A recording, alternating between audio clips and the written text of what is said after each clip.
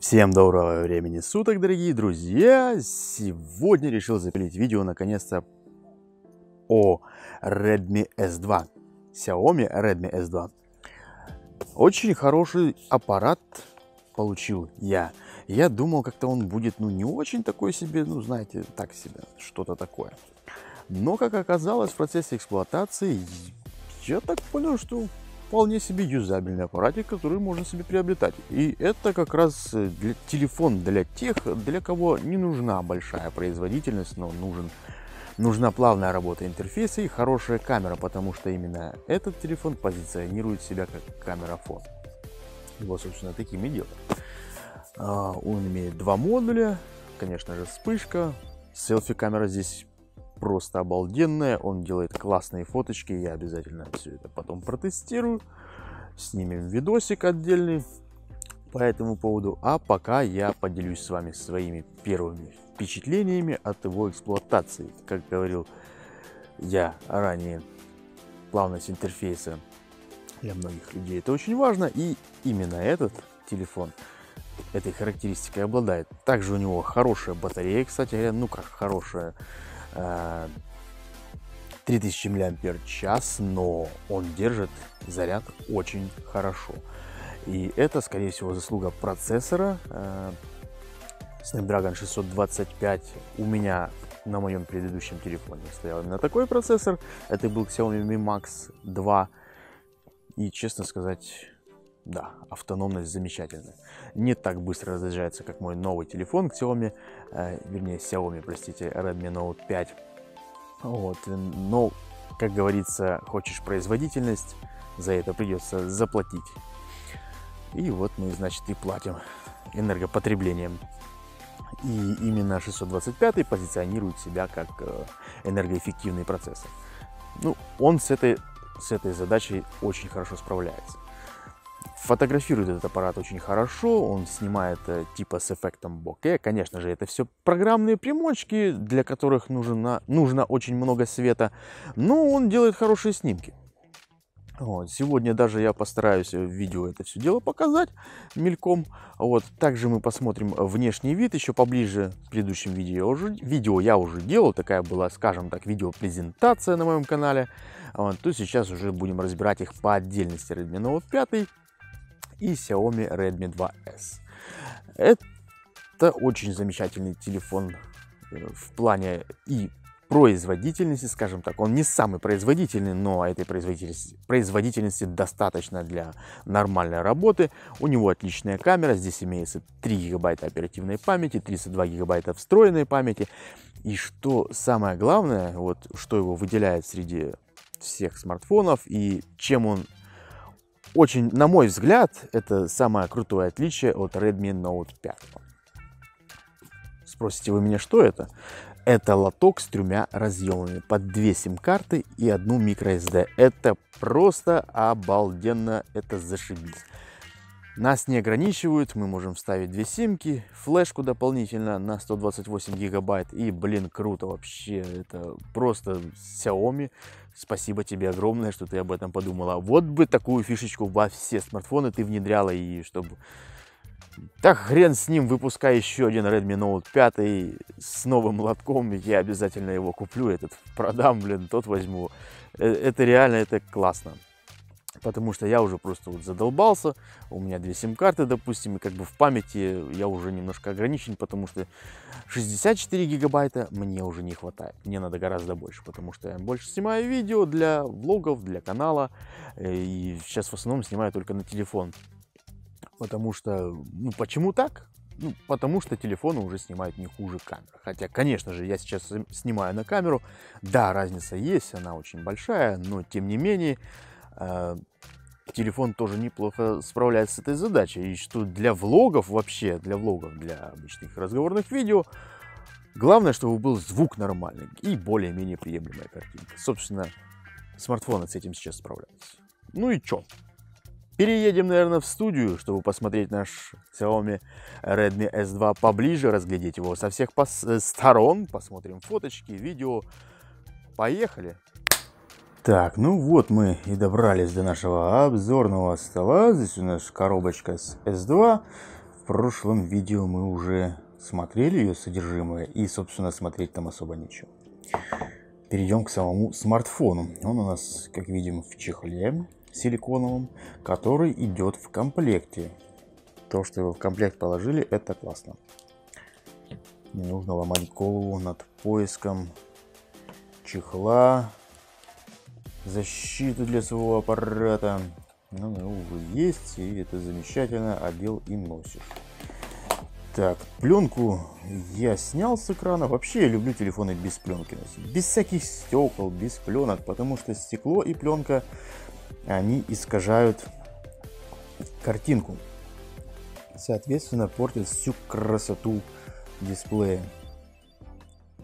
Вот, сейчас глянем немножко. Тут внешний вид у нас, здесь у нас находится глазок фронтальной камеры, два датчика, динамик.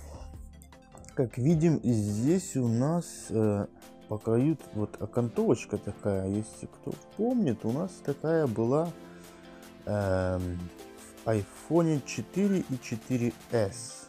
Она пластиковая, вот, то есть это получается здесь закрыли щель между корпусом и дисплеем. Ну, дисплейный, дисплейным модулем.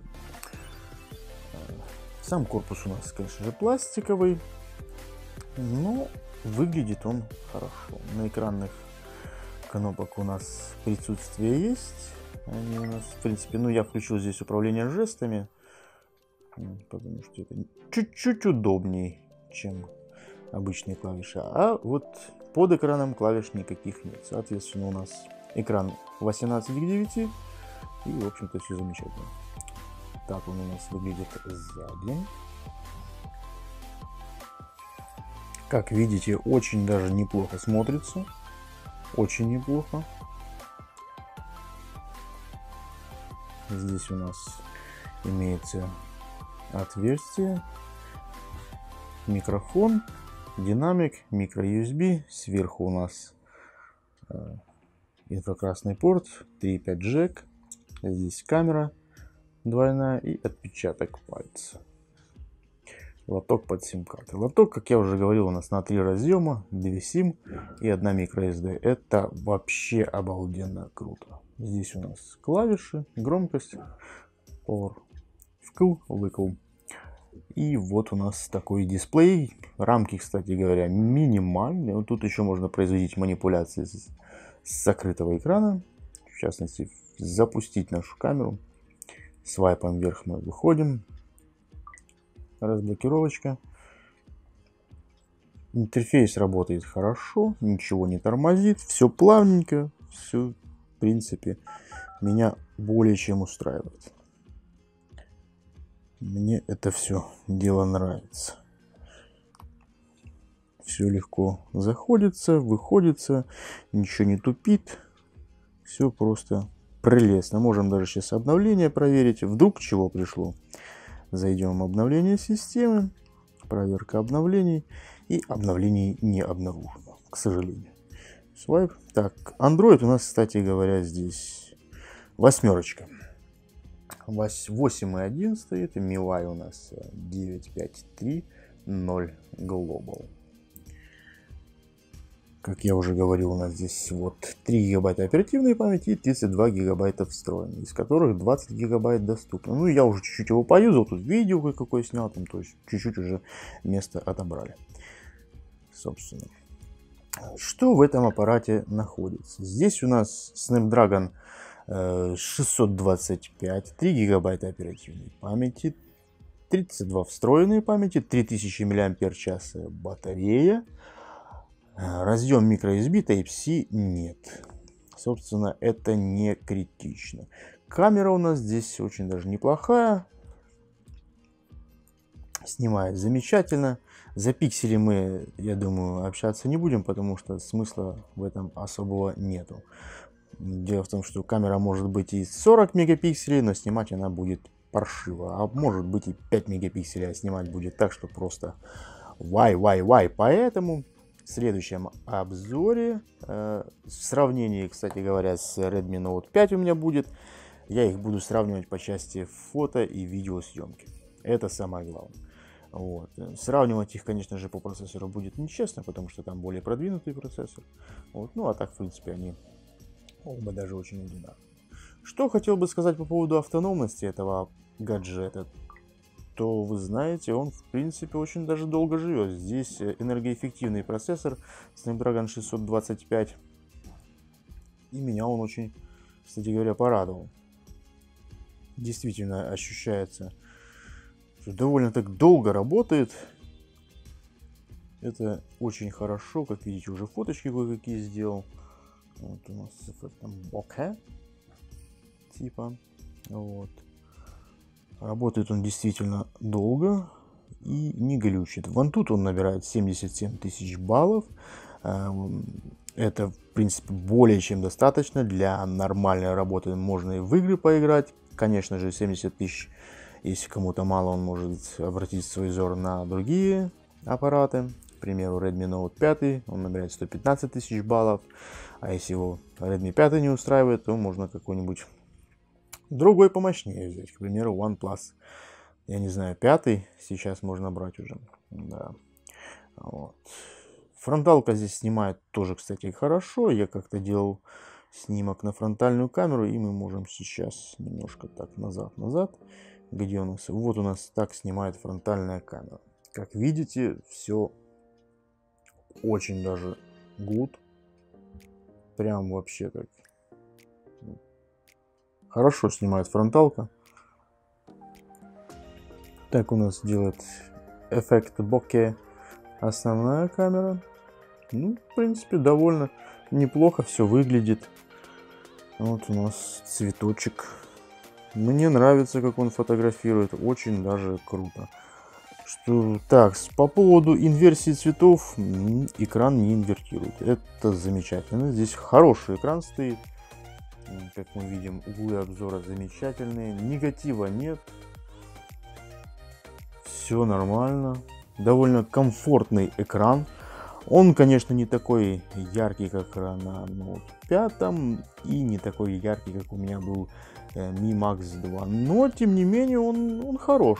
Он довольно приятный, и к нему привыкаешь, кстати. Здесь HD разрешение, HD+, если быть точным. Да, пиксели видно, но когда вот посидишь с ним минут 10-15, то их уже просто ну, не замечаешь. У тебя цельная картинка, никакой зернистости, то есть в полном, все в полном порядке. Понятное дело, что если положить два аппарата э, рядом, один с Full HD+, и этот, то да, будет заметно. Но в процессе эксплуатации повседневной этого не видно вообще. То есть глаз привыкает, и я даже не вижу смысла, допустим, уже Full HD брать, потому что как бы ну особо и не видно там. Конечно, если они рядом их будут лежать, то да, видно будет. Ну а так.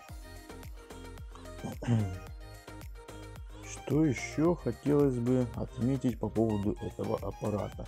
Кстати, по поводу связи, э, вернее, как связь-то я проверял, а вот э, динамики еще стоит, предстоит протестировать это мы все. Послушаем, как он будет там себя вести. Мы разговорный послушаем, а этот послушаем.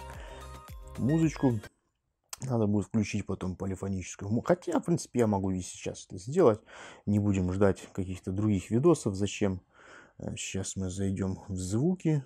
Где тут рингтон у нас есть? Так, выберите. Не понял. Music. А что, здесь ничего нет? Эм, ага. Так. Нам бы громкость на максимум поставить. И выбираем елки-моталки.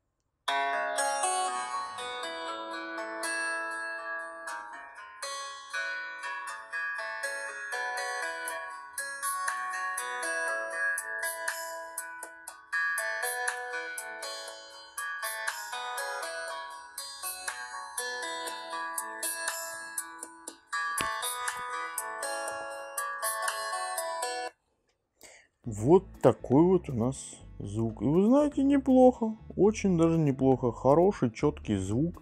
Мне нравится. И что самое главное, громкий. Это уже плюс большой. Вот. То есть хороший динамик, как видите. Вернее, как слышите.